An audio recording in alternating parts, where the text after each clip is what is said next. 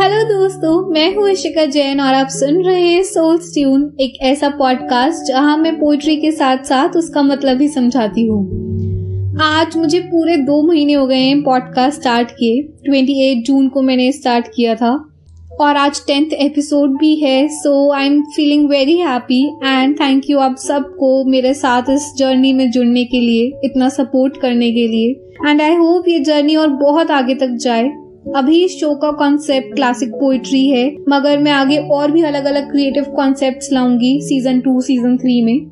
So thank you for sticking with me on this journey आज का tenth episode में start करती हूँ फैज अहमद फैज साहब की एक नज्म के साथ। ये नज्म वैसे काफ़ी पॉपुलर है, आपने इसका टाइटल तो एटलीस्ट ज़रूर सुना होगा। बोल कि लब आज़ाद है तेरे। तो बस शुरू करती हूँ।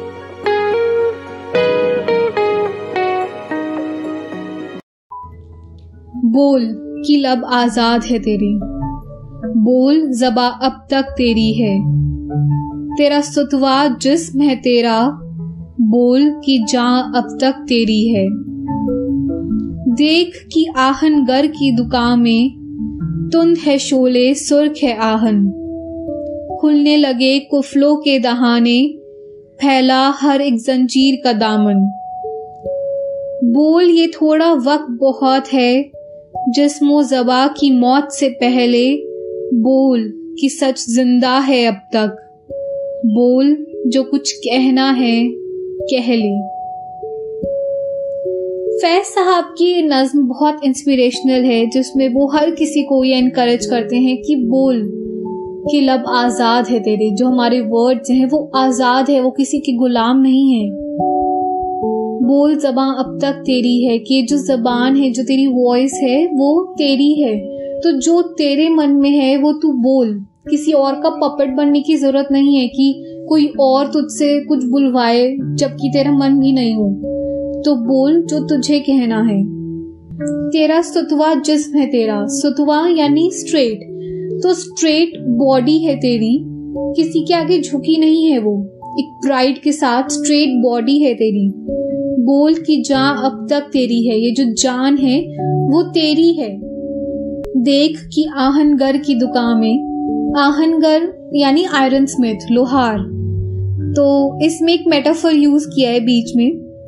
देख कि लोहार की दुकान में, तुंद है शोले, सुर्ख है आहन। तुंद यानी वायलेंट स्पिरिटेड शोले यानी आग सुर्ख यानी रेड, आहन यानी आयरन। तो एक सिनेरियो बताया गया है कि जब लोहार एक लोहे को पिघालता है तो वो कैसे पूरा रेड कलर का हो जाता है और उसमें से आग की लपटें निकल रही होती है। खुलने लगे कुफलो के दहाने। कुफलो यानी लॉक्स ताले। दहाने यानी माउथ कि उससे तालों की मुँह भी खुलने लगे। ये एक मेटाफर यूज़ किया गया है यहाँ पे। फैला हर एक जंजीर का दामन, की सारी चेन्स बिखरी हुई है, तालों के मुँह खुल गए हैं। वहाँ पे लोहार आयरन पे घाल रहा है तो वो रेड कलर का होके उसमें से आग की लिपटे निकल रही है। बोल, ये थोड़ा वक्त बहुत है। कि यही वक्त है अभी तेरे पास। ये नहीं कि तुझे हमेशा मौका मिलता रहेगा। तो अब जैसे तालों के मुँह भी खुलने लगे हैं तो तू भी अपना मुँह खोल। जिस्मो जबा की मौत से पहले, ये जिस्म, ये बॉडी और इस वॉइस की जब मौत से पहले, बोल की सच ज़िंदा है अब तक। अभी तक सच ज़िंदा है, तुझे किसी और के झूठ में हाँ में हाँ मिलाने की ज़रूरत नहीं है।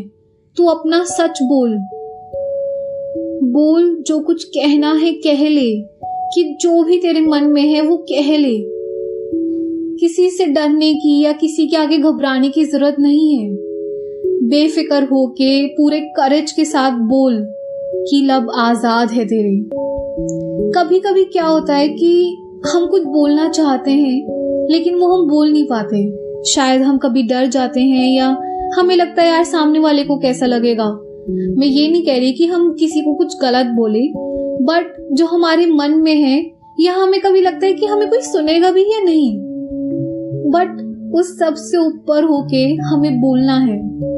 क्योंकि अगर हम नहीं बोले ना उस टाइम तो वो जो रिग्रेट होता है कि यार बोल देना चाहिए था या क्यों नहीं बोला, वो ज़्यादा परेशान करता है, बजाय उस टाइम बोलने के। तो अब जैसे अभी देख लीजिए, मुझे नहीं पता कि मुझे कितने लोग सुन रहे हैं। शायद कोई भी नहीं सुन रहा हो बट मुझे जो बोलना था, वो मैं बोलूँगी। तो बस मैंने बोल दिया, क्योंकि लब आज़ाद है मेरे।